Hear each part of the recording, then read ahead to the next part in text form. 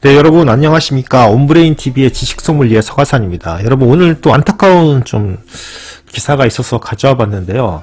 여러분 제가 저번에 한 3, 4일 전인가요? 네, 지구 온난화로 2100년 정도 되면 해수면이 상승 70cm나 상승할 것이다 라고 하는 어, 그런 소식을 전해드린 적이 있죠.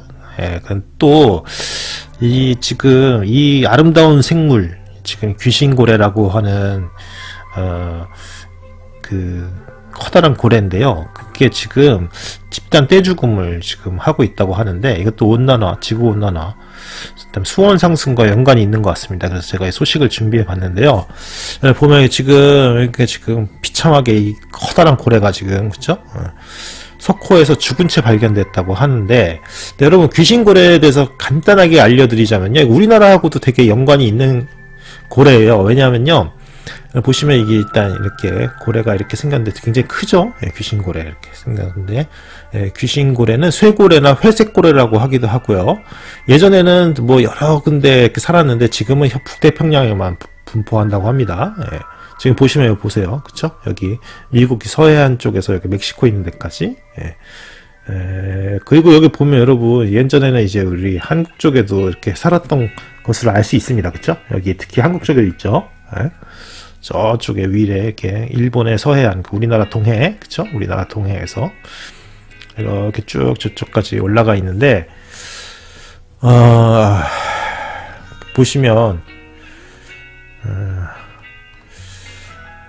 쭉 보면 여기에 그쵸? 음, 어, 우리나라에서 반구대 암각화 있잖아요. 울산에. 예, 여기서도 지금 보이는 게 이게 회색고래라고 합니다. 예, 귀신고래.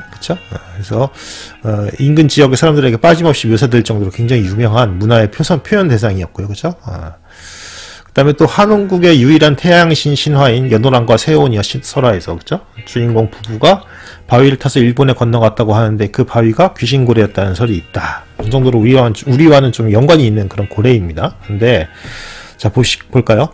해마다 1월 중하순이면 북극해 인근에서 지방을 축적한 귀신고래들이 번식을 위해서 멕시코 바하 칼리포니아르에 얕고 따뜻한 석호로 모여, 모여 든다. 그런데 이들 고래 가운데서 눈에 띄게 수척한 개체들이 포함되어 있다. 왜 그럴까요? 어, 번식을 마치고 베링해로 북상하던 귀신고래가 죽어서 북미 해안에 떠밀려오는 사태가 3년째 이어지고 있다. 번식을 하고서 아이를 낳고 다시 북쪽으로 가는. 왜, 여러분들 보시면 따뜻한 바다에 먹이가 많을 것 같죠? 근데 사실은 찬바다에 더 먹을 게 풍부하다고 합니다. 예.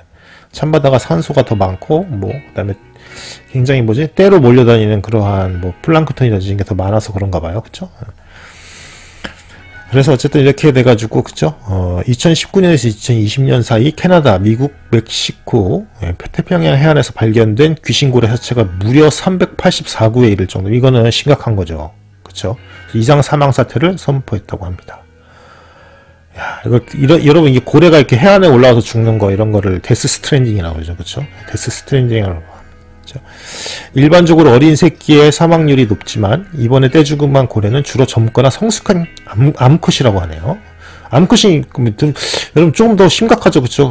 번식 저기 개체 수가 떨어질 가능성이 높죠. 아이를 못 낳아서 그렇죠. 네.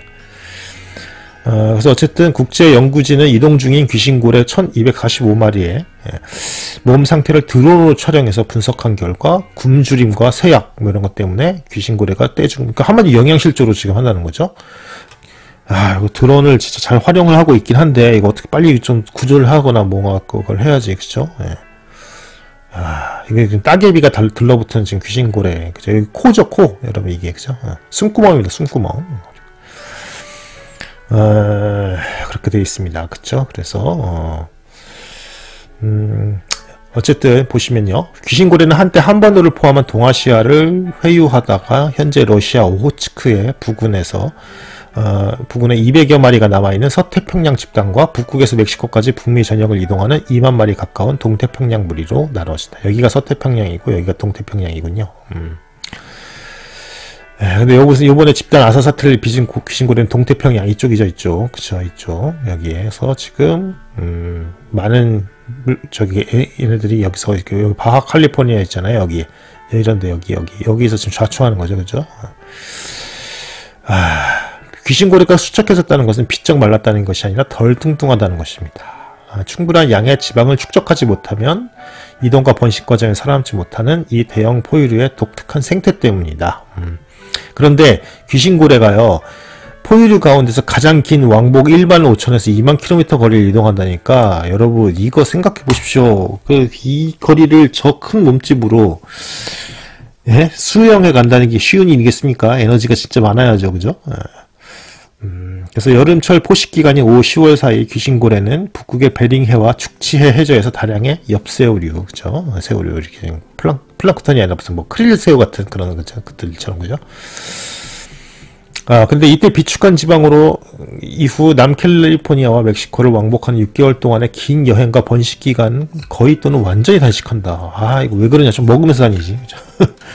아, 그래서 연구자들은 귀신고래가 먹이털을 떠나서 번식지를 왕복하면서 체중의 11에서 29%가 줄어든다. 그러니까 충분히 지방은 쌓아놓지 않고 이제 가게 되면은 죽을 가능성이 높아지는 거죠. 그렇죠?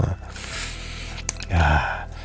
자초한 고래의 몸 부피가 평균 45.7% 줄어든 것으로 보아서 지방층이 몸이 허용하는 한계치 이하로 떨어진 것 같다. 진짜.